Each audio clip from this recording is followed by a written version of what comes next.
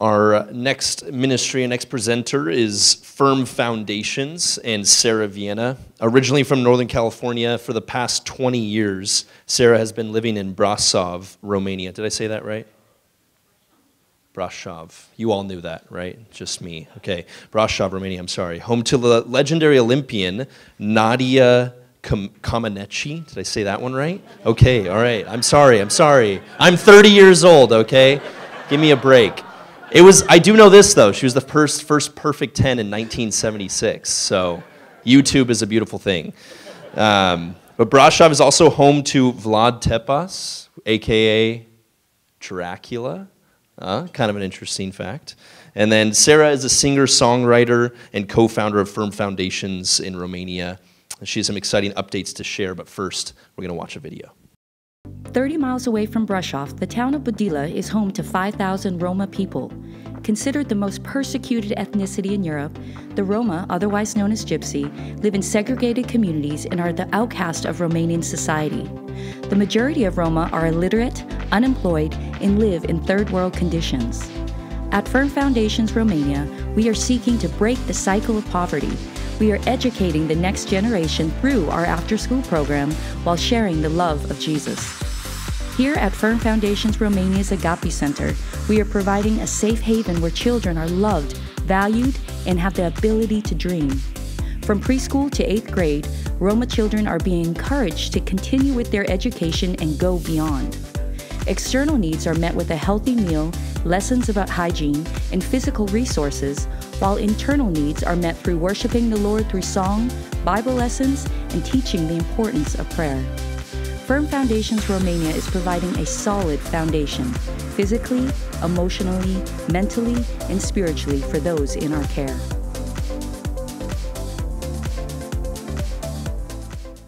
Well, good evening, everyone. It's great to be back with all of you. Thank you, Russ Klein, for the invite. And uh, a big shout out to Jim West for making this all possible. I'm excited to share that um, Jim and his uh, colleague will be visiting us in Romania this coming July, so we are quite excited. So I have a lot to share within this time, so you know, power pose here. Here we go. In 2012, we first started our educational programs in the Roma village of Budila. And uh, we were using a part of a building owned by the town hall, which you could see was quite rundown. We were also not able to expand our programs nor enroll more than 130 children due to a lack of space. So we took a leap of faith and decided to build our own Educational Center. Two years ago, I presented here in this Orange County Barnabas, and I shared that we were just embarking on a capital campaign. And as you can see from the video, not only did we raise uh, 800,000 to achieve our fundraising goal, we completed our beautiful 5,000 square foot seven classroom building that we have named the Agape Center. Since opening in November 2022, we have enrolled more than 230 students. That's 100 more students whose lives are being transformed. So we're praising God about that. Uh, we, yes, thank you. We utilize an innovative way of building our building using shipping containers brought in from Denmark. And I know that probably a lot of uh, general contractors and architects out there were kind of scratching their heads wondering, how's this building going to turn out? And believe me, I was doing the same thing. But I have a great report. The building turned out amazing, and I'm going to share some videos, some, some pictures of our construction journey. We purchased land in December of 2019. And then we demolished the existing buildings during those dark ages of COVID. And then we poured the foundation. And then one by one, eight shipping containers arrived and we stacked accordingly to the building design. And then this is an aerial view of, this is about halfway through our construction process. And you can see the beautiful surroundings. Um, and then we built the roof. Then on the exterior walls, we added the stucco.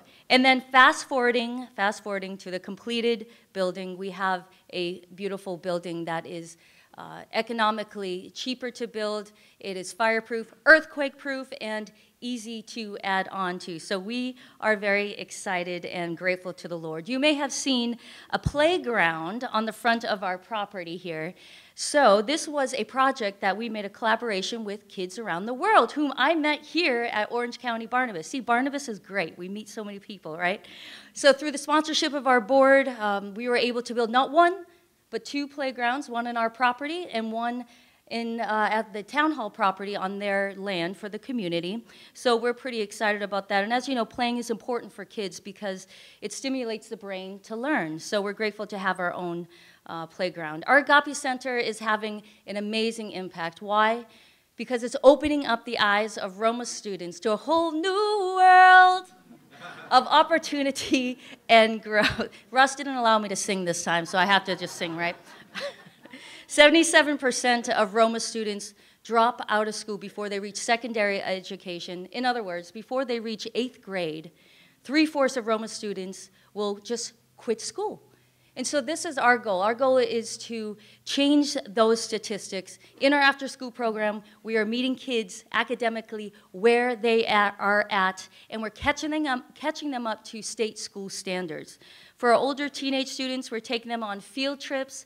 We're showing them different trade schools to share with them different career opportunities that you know, that's stimulating to them, that engages them, and they know that they have our support to encourage them through their school and future goals. In addition to education, our program offers a holistic approach to help with their daily lives. Physically, we're teaching them about proper hygiene. 95% of Roma families do not have any plumbing in their shack-like homes. So one of the most exciting part about our Agape Center is the bathroom because the children love to go and wash their hands in a new sink and flush a toilet where it's clean and it's private. Um, so never take for granted your bathrooms, lady and ladies and gentlemen, right? We're also providing much dental needs services. The majority of Roma children, they have severe decay, severe abscesses, we recently just had three, uh, three uh, dentists, one dentist from Northern California, who's my dentist, come out and do preventative care on our Roma students. Uh, the kids are in such need of this, and our goal is to have dentists come out a couple of times a year. Uh, we recently had a missionary who is an occupational therapist from Colorado Springs join our team. And she's providing OT therapy care, which helps develop fine motor skills and improve developmental delay. Occupational therapy is actually non-existent in the country of Romania. So this is really a trailblazer care in this country. So we're excited about that. Our teachers have shared with us that they can notice a difference in a child's attention span and behavior after a half hour session. So we know that this is making a difference. Most importantly, our goal is to bring the gospel to these kids, and they are learning about who the Lord is, and they're valuing, they're, they're feeling valued by the Lord and by our staff. They're learning Bible lessons, they're learning how to pray, they're learning how to sing songs of, of worship, and um, understanding that they can trust the Lord. And that's what it's all about, right? That's why we're here.